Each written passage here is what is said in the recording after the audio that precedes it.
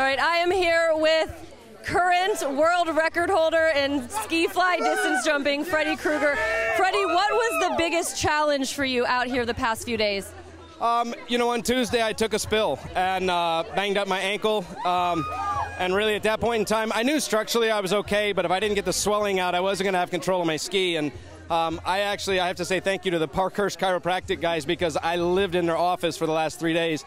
And uh, they got me back. And, you know, yesterday I had, you know, we, we were watching the weather. Was it good today? Was it good yesterday? And we went with yesterday ended up being the right decision because honestly, I think that 303 was probably a better jump, but I just didn't have that wind to hold me up. So, uh, but I mean, today to get over that 300, that was the goal from the very beginning. I am so excited. You know, this record has stood for almost two decades. Yeah. What does it mean to you to now have your name in that Guinness Book of World Records?